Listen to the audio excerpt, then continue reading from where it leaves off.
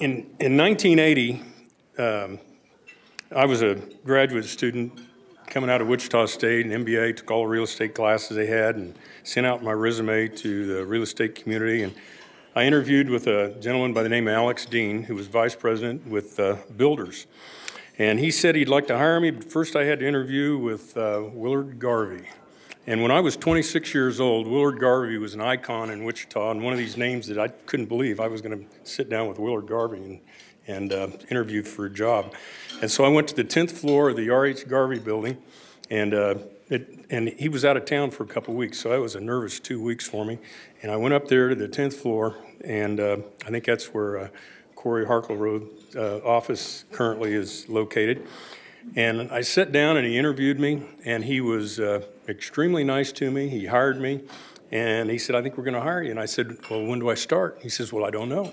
So he turned around, got on the phone, called Alex Dean. He said, and then he turned around, he said, 8 o'clock tomorrow morning. And that's how I started my real estate career.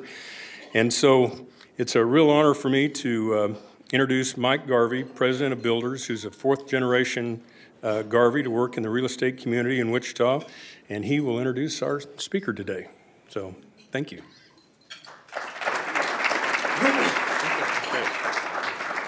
Merry Christmas. One thing we learn about in CCIM is the time value of money. And so I wanted to share a few anecdotes about what that means.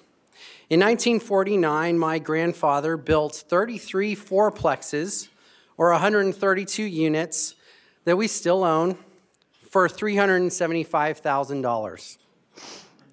Today, that would cost $20 million. We rented houses in the 1940s for $45 a month. In 1955, one bedroom apartments rented for $59 a month, and a two bedroom house was $8,000. I'm going to introduce our speaker today by taking you through the time our family has spent on real estate in Wichita and I ask you to think about how you spend your time. Or instead of time value of money, the time value of time. What is your time worth to you? 130 years ago in 1893, Ray Hugh Garvey was born in Phillipsburg, Kansas, and in 1959 he passed away in a car accident. During his 66 years on this earth, he farmed, built, and created many business opportunities using his unique gift as an entrepreneur and risk taker. This is how he spent his time, working on his business and creating strong ties to his family. When he died, that development was in danger because of the mountain of debt needed to put everything in place. It fell to his wife, Olive, and four children, including Willard Garvey, who had co signed all the loans, to work their way free from this burden. The company was never going to stay together because of the personalities involved. So the family agreed to divide the company into equal parts. Olive Garvey decided to spend her time mending fences between her children and keeping the family together instead of working on growing the business. Willard Garvey took his piece of the company and built many developments around Wichita, including Garvey Center, Epic Center, helped with the Big Ditch, Wichita Grain Elevators, Southwest Industrial Park, 5,000 single family homes, and apartments, among other developments. He too had a developer's mentality, ultimately, using his time trying to change the world.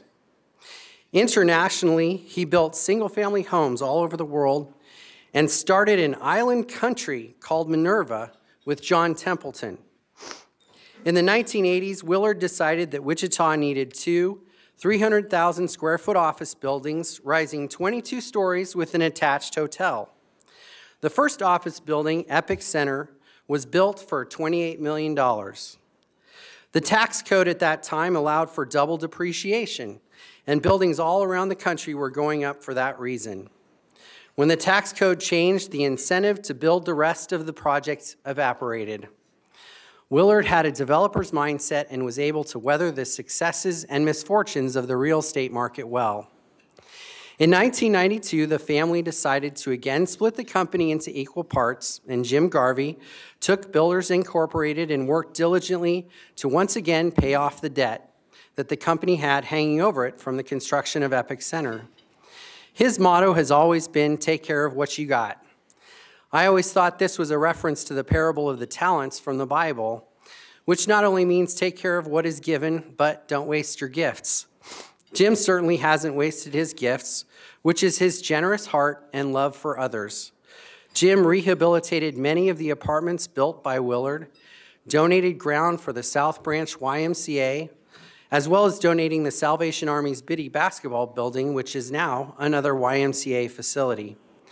Jim spent his time supporting other people to be successful. I came back to run a debt free Builders Inc. in 2007 and we've built a few apartments, but I use my time supporting our team who makes wise decisions, ultimately deciding that this responsibility can't be a burden. Is my family four generations old or a 100? Builders Incorporated is smaller than the original company in 1959, but it's still together after four generations. We can also trace our roots back to when it was nothing, just a teenager renting farm ground to go to college.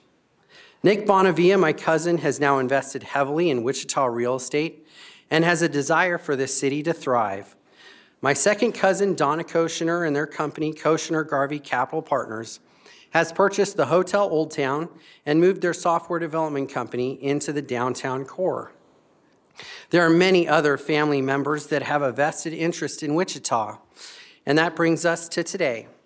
130 years, four generations, over 120 living descendants of Ray Hugh have benefited from his vision. So, what you do with your time is completely up to you. Just don't waste your talent. And now, Jim Garvey.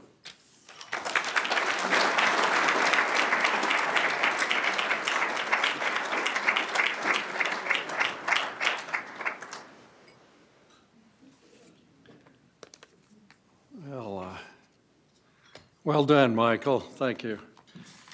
Uh, I, I would have loved to have him give the regular presentation, but he did a great job. Uh, an overview, I'll just try to elaborate a little bit. Apologize for the sandals, I have a leg issue, so apologize for a minute. Anyway, um, well, some of this may repeat some of the things Michael said, but uh, you're honoring Dad and the Garvey family, uh, Dad being Willard, and uh, but it did really begin with his dad, uh, and uh, as Michael mentioned, he was literally born in the side of a hill there in northern Kansas near Phillipsburg. Uh, his dad and grandfather had homesteaded up there. He uh, ran everywhere across the fields and worked his way through Washburn University, earning a law degree. Uh, I think at some point he had a two-mile record too, following up on his running. I met his wife there, my grandmother. They married in uh, 1915 or so. They uh, moved to Colby, Kansas, and uh, he opened his law practice renting a desk in a land office building. He eventually got into uh, land through acquisitions, et cetera, and uh, farmed it and uh, kept expanding on that business. Eventually, I think having over 100,000 acres of farmland in western Kansas, eastern Colorado. uh, it was rough going through the Dust Bowl for, in farming out there, and uh, he kept with it. The family had moved to Wichita in 1927. Grandmother wanted her kids to grow up in a larger town. But grandfather corresponded daily, pretty much over many, many years, with his farm manager, as well as visiting out in Colby to oversee the operations. His farm manager didn't have a telephone, and so they wrote letters every day, back and forth. So his rough uh, trying to grow crops in the Dust Bowl, but they kept working at it and finally after the war, had a bumper crop, and they needed more storage, and the rest of the country needed more grain storage. So he provided uh, a supply for that by building large terminal elevators the, uh, throughout the plain, Great Plains. Uh, And the largest in the world, actually, is here in Wichita, south of town, that they built. And Dad was involved on that, too. Uh, Dad uh, grew up, he was a swimmer. His dad had run. He swam his entire life. It was an important part of his life almost every day. Uh, was in the war in uh, Lon- London uh, headquarter area, uh, World War II. And when he came home, he wasn't quite sure what he wanted to do. He had an interest in journalism, among other things. Grandfather said, well, why don't you take Drake and build some houses? And Clarence Drake was uh, construction superintendent, grandfather had. He had built some uh, small, very affordable homes west of Wichita State in the 30s, and they were people, they were small, what people could afford, but as they earned more money, they could expand upon these homes. He also built about 84 brick fourplexes on South Hydraulic in the early 40s. So Dad took Drake and built some houses, as Michael said. Uh, The flyer mentioned they were cottages, but they were houses, all brick, typically all brick, uh, uh, starter homes, basically, with basements. Uh, Southwest part of town had a shallow water table, so they brought, brought the basements out of ground and built bi-levels, a lot of them. Uh, so they built about 5,000 of those, uh, 1,600 or so apartments. Typically, everything was all brick. And Park Lane Shopping Center in the mid-50s, which is uh, the first large shopping center in Wichita, and a lot of the downtown merchants had stores there, Model, Lewins, uh, Henkel's, et cetera. In 56 or 57, Boeing shut down production, apparently laid off a lot of workers. Construction in Wichita really came to a halt. They had had a lot of subdivisions platted and things, and they, that didn't come to fruition. Uh, So he turned his attention overseas, as Michael mentioned, uh, to build affordable housing uh, overseas. And uh, as a young man, I was kind of inspired. Uh, His best project was in Peru. And uh, originally, the homes were uh, pretty much all the same. They're very basic concrete block homes, but it was better than what the people had moved from. It was a real step up for these people.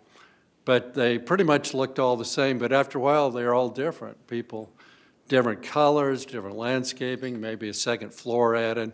So it showed what the pride of home ownership did. And Dad's motto was every man a homeowner, and his philosophy was uh, communism was a big threat at the time. Uh, If, if a man owned a home, communism had nothing to offer him because they didn't believe in private property. After grandfather passed in 1959, uh, he, had, he was a passenger in a car returning from Salina near, he was sleeping and uh, a semi turned and, and uh, hit his side of the car, so he, he never woke up. But uh, they had just paid off a mortgage of the Salina elevator, I believe. After he passed, the family, uh, were, they were in- all in business together, grandmother and the four kids. And uh, Bob Page had been hired by grandmother. He had worked with grandfather before his passing. He- She hired him afterwards. But he observed that uh, the meetings were very contentious. Everyone felt they knew how to run things. And uh, the conclusion was break up the family or break up the business. They decided to break up the business, and he engineered a five-year tax-free spin-out. And uh, so Dad took builders, he took the oil company, Petroleum Inc., uh, mortgage banking company, Amortibanc, and his portion of the grain business. and, uh, which included the elevator terminal south of town and some country elevators nearby. They were doing pretty well in the grain business, and so in the early 60s, he acquired a, uh, they were contiguous ranches in northwest Nevada. Uh, it was really the Wild West out there, but it was real adventure going out there. Uh, then in the mid 60s, the family built Garvey Center. Uh, Dad was the only sibling living in Wichita, so he was pretty involved in it. His a longtime friend of his, Sid Platt, was the architect. Uh, Bob Page uh, managed it for the family. Early 60s, Dad did get into the newspaper business, Wichita World, Washington World. Uh, he felt that newspapers generally covered too much uh, negative news and too much government news, so his papers tried to emphasize more positive news and private sector news. Throughout the 60s, 70s, 80s, and even in the 90s, he continued to build apartments here in Wichita, eventually building over 2,800 uh, around the city. In the mid 80s, uh, they developed uh, Epic Center downtown, and uh, I was not at that time involved in the day-to-day operations of builders, but uh, was at the board meeting when they were deciding whether to go ahead and build Epic Center or not. Bob Page, managing Garvey Center, said he he had no problem competing with them. He could rent at ten dollars a foot and make money, and he knew Epic would have to charge more than that. There was discussion about uh, the office market maybe wasn't all that great at the time. Epic was about 300,000 square feet of office. And uh, little discussion that it, it, could take builders under. Uh, they could, it could uh, overwhelm builders after the meeting, I visited with Dad in, in his office and just expressing my concerns about possibly losing builders. He said, Well, Jim, uh, I may regret building Epic Center, but it, or, or I may, yeah, let's see, I may regret building Epic Center, but I'll, I'll really regret not building it. He, he loved to build. He, he just loved to build. So it was built, uh, uh, builders did survive.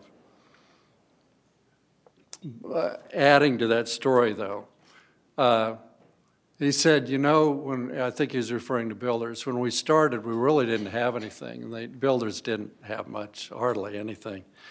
When we started, we really didn't have anything, and if I go back to that, I'm okay with that.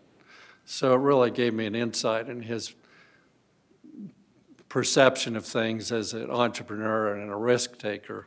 You know, he wasn't going to make foolish risks, but he'd build it up from nothing, and he was willing, if he had to go back to that, uh, to go back there. And uh, later in the 90s, uh, he had uh, acquired the rest of Garvey Center from family members, and uh, the Holiday Inn was built in the middle of the center by the Leitners in, in the early 70s. They had subsequently sold it to other people, and it eventually lost its Holiday Inn franchisee, but was operating as ho different hotels. Uh, they defaulted on the land lease, and uh, builders got the property, 27-story, 26 or 27-story building in the middle of Garvey Center and hired Larry Weber later in the 90s. He had, Larry had worked in uh, hotel business for many years to help him figure out what to do with the property. I think it was they had vacated the property at the time, and they looked at lots of options, including imploding it. And uh, uh, being a ho hotel was just too expensive. Dad wasn't willing to do that. And so they came up with the idea of apartments. And there really weren't apartments in downtown Wichita at that time. This was in the 90s. And uh, so, uh, you know, they weren't sure if it would take. So uh, Dad was willing to uh, just open the building cost $2 million or so to get the utilities going again, et cetera, and elevators. And, and uh, so they, he decided, well, we'll do one floor of apartments at a time, and, you know, if they rent, we'll keep going. And uh, you could do- get eight apartments on a floor, so they started near the top and worked their way down. If they rented up, so they kept, kept adding on. When he passed in 2002, it wasn't quite finished, and Mom got the property, and we stepped in to help her and finished it, made a few changes, but uh, uh, it just, he was 77, 78 at the time, and willing to start a new business venture, and take the risk. He also built uh, a number of things for nonprofit organizations. I think it's the late 40s maybe, or maybe early 50s, Logopedics was raising money to start a new campus. He said, well, I don't know that I'll give you money, but I'll build it for you. So he, uh, at no cost to them, built, oh, there were 100 or so brick fourplexes and triplexes. And, uh, and then the main administration classroom building, I think it had a gymnasium in it. And he uh, built it at no cost to them and had a low-interest loan they just took over and started making payments on. Uh, Mom started the independent school. They outgrew a small nursing home. So in their front field, 20-acre field, they, he built uh, the lower school. Uh, They originally just went up to sixth grade, later added a grade a year to get through high school, and he kept building. Uh, uh, Fred, grandmother was a longtime Quaker uh, background and uh, involved at Friends University in the early 70s. They built the gymnasium there at Friends. Uh, Anyway, he was well-known as an advocate for fighting government growth, and we kind of continued that a little with our Kansas Taxpayers Network, trying to represent the taxpayer up in Topeka and here in Wichita. We had done uh, pie charts when I was involved with builders, uh, showing our total taxes, payroll, sales, income, property. As you commercial property owners know that, that's a big hit. And we were doing well, but uh, we paid as much in taxes as we took home. So we're working till July for the government and don't really, didn't want to really have it keep going to August, September, October for the government eventually. So we can run our businesses and do a great job doing it, but there's, may, there's this large snowball coming down the hill and growing behind it. It's called government spending, taxes, regulations. And it can overwhelm us, even though we're doing a great job running our business. So we try to keep it at bay, keep it in line. There's a need for government, but keep it uh, somewhat limited and, and uh, so we can grow. I got involved in builders. I'd grown up uh, working in maintenance and yard crews and uh, building houses, managed Park Lane for a while.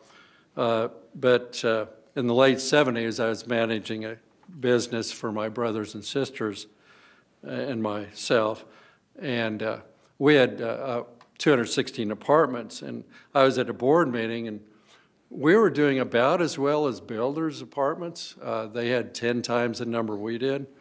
Uh, I mean, they are maybe, I don't remember the numbers, but earning not much, you know, maybe twice what we were, but they had 10 times the number of units. And uh, I just said, well, I don't know what's going on, but if you want me to try to help, I'll be glad to. So they hired me in January of 80, and uh, we just instituted common sense things, uh, things we had done at our properties, we multiplied by the 10 or 11 properties builders had, and one right system, and we knew if people had paid fairly early in the month. Builders had a mainframe computer, and they didn't know if people had paid till later in the month. Uh, Made a lot of personnel changes, just common sense purchase order controls. Uh, So it got turned around and was a good cash generator for builders and enabled them to do a lot of their development in the 80s, including Epic Center. A little bit after that, they asked me to get involved in the commercial properties also. Uh, The person there had stepped aside. And we didn't have a lot. Park Lane was our main property. It was pretty empty, a lot of vacancies. And uh, uh, so at the time they hired me, they had run an ad in the Wall Street Journal, and I interviewed a couple applicants for leasing, and we hired a gentleman who had a turnaround of a large shopping center in Buffalo, New York, Fred Earhart, and uh, he joined us and was enthusiastic. And Dad had certain parameters on leases, and being his son, I think he maybe eased back a little bit. We, we didn't take advantage of it that much, but uh, we're able to maybe do some things other people maybe hadn't been able to. But uh, got it turned around, got it going. Dennis Fitzroy, a lot of you know, has done a great job with Park Lane and other properties. And uh, also since then, uh, we, it was all retail, it's 300,000 square feet. Uh, Half faces Oliver, half faces Glendale, so we made the Glendale side uh, office at that time. And so it's still a, a good business for us.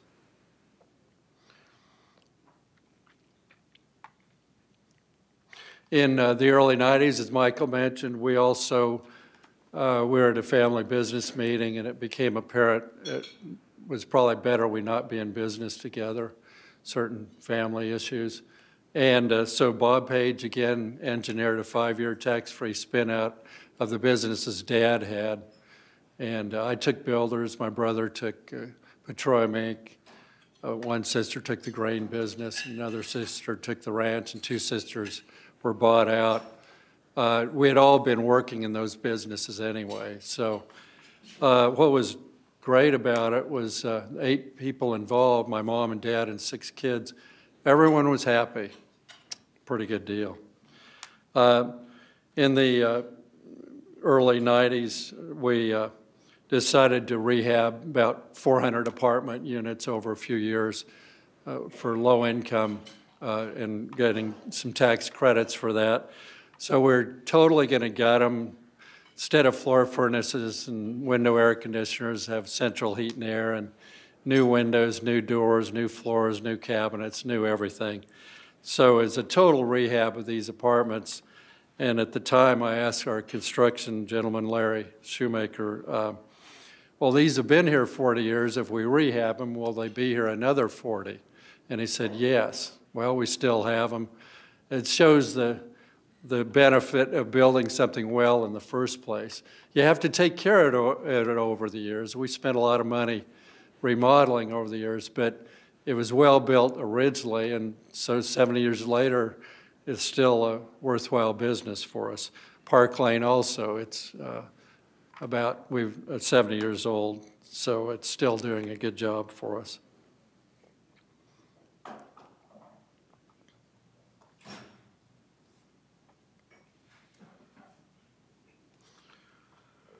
Okay, on to Michael. Um, I have three sons and kind of had left the door open if anyone wanted to get involved with the business. They had grown up school years uh, doing some work, you know, maintenance or construction. And uh, Michael was in Los Angeles, this was about 2007, running his own business. It was not real estate or even real estate related, but uh, doing a good job, risking his own money, expressed an interest coming back and running builders. And uh, he was the same age I was when I took on the apartments, about 30. So we had some good people there at Builders. I felt they could be good mentors. And so he came back and it was, we had a consultant who helped us on the transition, had our ground rules. And, and uh, I stepped off the board, was one of them. And, and uh, uh, so it was tough originally, but uh, uh, it's worked out well. Michael has done a great job and has enjoyed it. He's uh, continued to do uh, great things managing. He started managing for other people, which we hadn't been doing. And he also uh, did a good job from their earnings. He's diversified into real estate related businesses like roofing and heating and air apartment or uh, residential and commercial remodeling, and those contributed nicely to uh, builders' cash flow. I think grandfather and dad, and I think for me and Michael also, uh, they just liked the challenge of business. I, I don't know that they're necessarily trying to acquire more and get wealthier, but they just like the daily challenge. And grandfather said, the fortunate thing about business is it requires the constant attention of management. so Michael referred to the parable of the talents. It was kind of a guiding principle for me, just thou hast been faithful over a few things, I will make thee ruler over many. Take care of what you got, as he said. Um, and uh, it, it refers in the Bible, it's the term is talents, referring to money, but you can use it also, obviously, for the uh, other use of the word, your, your skills. Be faithful over. And I think in each generation, grandfather was diligent and focused on the farming through many, many years of drought, and then finally had bumper crops and uh, decided to help store in the storage area and, and uh, by but by paying attention, being faithful over his farming, he became ruler over other things. Dad loved building, uh, sold the homes, kept the apartments and commercial properties, and grew his business that way. I was more management oriented, so focused on uh, uh, uh, the operations of the apartments and then the commercial properties, and our revenues enabled us to grow. Michael did more of that and also expanded into other businesses. Our name is associated with builders and maybe these other businesses, but uh, I'll tell you, I wouldn't be here, we wouldn't be here if it weren't for the wonderful people that have been working with us. Uh, dad, grandfather's generation, dad's, mine, Michael's. Uh, Harvey Childers is here today. He worked with dad uh, 37 years in many very important roles. Brad Smizer with Builders uh, started as a controller, has been our executive vice president and controller. He's been with us a little over 41 years. Larry Shoemaker, our construction manager's been with us a little over almost 43 years. Uh, these are the people that are here. I can, and uh, uh, uh, let's see, Samla Holt uh, with apartments, been with us over 24 years. Larry Weber, who Dad hired for Garvey Center, has been with us a little over 25 years. Um, I have others. I know uh, assistant controller, I think 40 years this year, and, and uh, uh, others, administrative assistant 37 years, and others similar length as Den Dennis Fitzroy, I think I forgot, uh, 36 years, uh, and some other people similar length as him. So um, we've been really blessed and fortunate have uh, really good people to work with. And uh, that's the only reason we're here. And uh,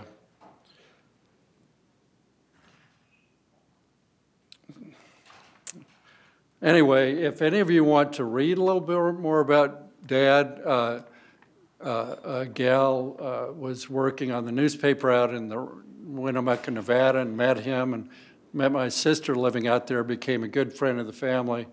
And after dad passed, mom commissioned her to write a book about him. And she'd been on a Pulitzer Prize awarding team at a newspaper in Ohio. So it's a well researched, well written, interesting book about dad called Willard Garvey An Epic Life. And you can buy it on Amazon. It's an ebook too if you want.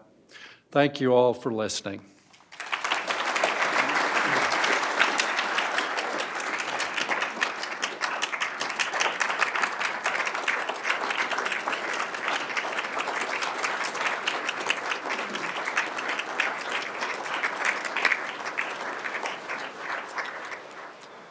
Well, we now have come to the point in the program where we officially bestow the award And as we said when we began, one, one of the guidelines that we have with the Kansas CCIM chapter and WSU Center for Real Estate Lifetime Achievement Award is that posthumous awards are only given in clearly exceptional cases. And this is clearly an exceptional case.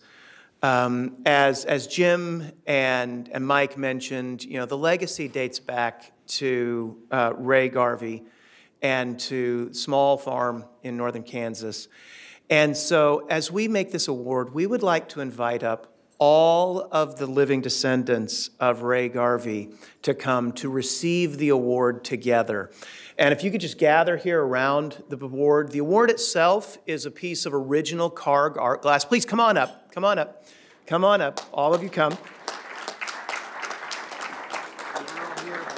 It is a piece of original, um, it's a can, piece of Kansas art that is original for a Kansas original family. So, are there others to join, or this, this where we're going to be? Okay. Well, then, um, Jim, John, Annie, yeah, come on, we'll, we'll see you behind it. We'll see you behind it, there. Annie. It is my great privilege to award to Willard Garvey and the entire Garvey family the Kansas CCIM chapter and WSU Center for Real Estate Lifetime Achievement Award in recognition of several lifetimes of outstanding contribution to the Wichita commercial real estate community.